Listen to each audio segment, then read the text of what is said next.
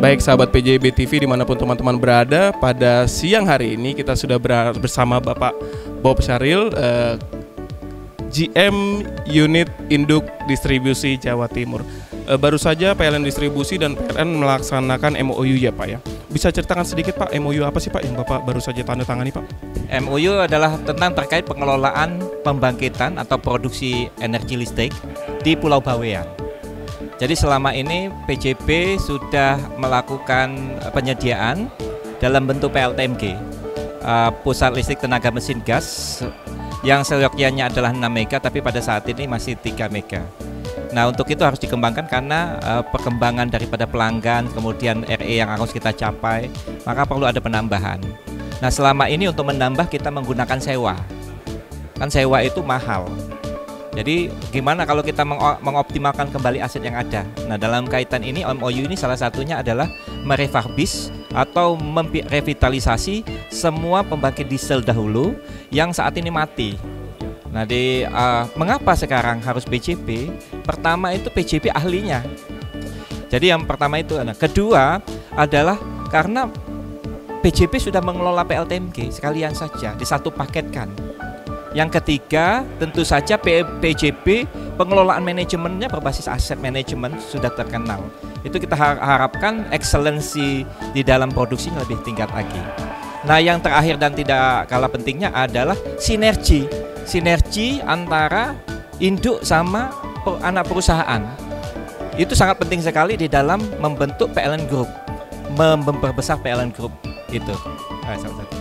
Apakah nanti ke depannya juga ini langsung dengan uh, pengimplementasian EAM seperti yang di Punagaya kemarin, Pak? Kita malah sudah implementasi untuk EAM distribusi.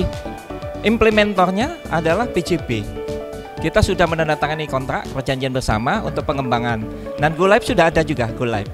Jadi itu digunakan pada untuk pilot project itu ada satu unit APD, uh, eh, sekarang U, U2PD ya, unit pengatur.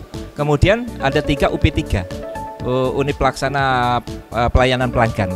Nah itu yang sudah di M kan tapi di tahun ini akan di roll out ke semua kita memiliki 16 UP3, 2 uh, 1 UP2D.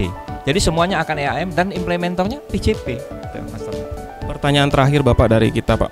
Uh, sudah sejauh apa sih selama ini uh, Bapak selaku mungkin bisa di sini adalah konsumen kami katakan PJB berhasil menjalankan amanah dari PLN dalam proses OM di unit-unit PLN Pak. Terima kasih. Kalau saya ada pengalaman juga. Pertama itu saya dulu um, pernah diamanahkan sebagai general manager di wilayah Sulawesi Selatan, uh, Tenggara dan Barat. Itu Sulsel Rabar. Dan salah satu aset yang saya miliki itu adalah PLTU Kendari 123 ya.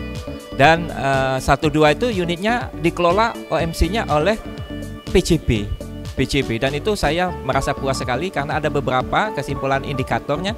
Pertama kalau kita lihat EAF-nya. EAF-nya semakin tinggi, bagus. Kemudian yang kedua tuh NPHR. NPHR-nya semakin bagus. Seperti kita tahu itu generasi yang lama, tapi berhasil direpartis mungkin diperbaiki pengelolaannya. Nah, yang ketiga tentu saja yang kita harapkan CF-nya itu memang tinggi ya artinya um, of effort apanya itu harus rendah ya. Output rate-nya harus rendah itu dan saya sangat puas dan harus ditingkatkan memang tidak boleh berpuas diri.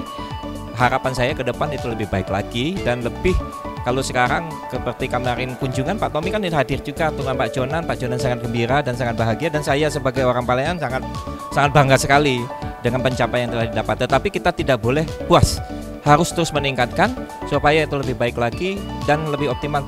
Tidak lain tidak bukan ini adalah semuanya untuk bangsa dan negara dan juga untuk konsumen. Nah, apabila semakin bagus kan konsumennya menikmati. Itu saja Pak Tami, terima kasih banyak.